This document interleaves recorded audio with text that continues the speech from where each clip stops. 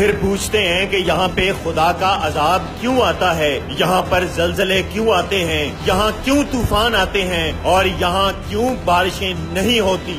لاڑکانہ شہر کے محلہ مراد وہن کے رہائشی اس معصوم بچے پر پولیس کی طرف سے بے جا تشدد کیا جا رہا ہے اور اسے اس بات پر مجبور کیا جا رہا ہے کہ تم اقبال جرم کرو کہ تم ہی نے چوری کی ہے، ورنہ تمہاری ٹانگوں پر گولیاں ماریں گے۔ اور اس بچے پر ظلم کرنے والا کوئی اور نہیں، بلکہ وہاں کا S H O Imran Brohi ہے۔ اس معصوم بچے کو مارا گیا، ڈرایا، دھمکایا گیا، اور نہ صرف یہ، بلکہ اسے کہا گیا کہ تمہیں ہاں صاف فرائی کر دیا جائے گا۔ کوئی پوچھنے والا ہے ان پولیس والوں سے کہ یہ کون سی بستی ہے جہاں ایک ننے معصوم پر اتنا تشدد کیا جا رہا ہے۔ دوسری طرف شرجیل میمن راؤ انوار فواد حسن فواد، احد چیما، ظفر حجازی، میاں محمد نواز شریف اور اور کئی ایسے لوگ جنہوں نے اس ملک کو کروڑوں نہیں بلکہ اربوں کا نقصان دیا ہے، انہیں آج بھی عدالت میں پیش کرتے وقت ہتھ کڑی نہیں لگائی جاتی۔ آخر انصاف کا یہ دوہرا معیار کیوں؟ کیا یہ پاکستان صرف اشرافیہ کا پاکستان ہے؟ خدا کے لیے بس کیجیے، اس سے پہلے کہ خدا کی طرف سے کوئی بڑا عذاب آپ پر نازل ہو اور آپ کی اس قوم کو صفحہ ہستی سے مٹا دیا جائے۔ خدا کے بندوں کو انصاف دینا شروع کر دیں۔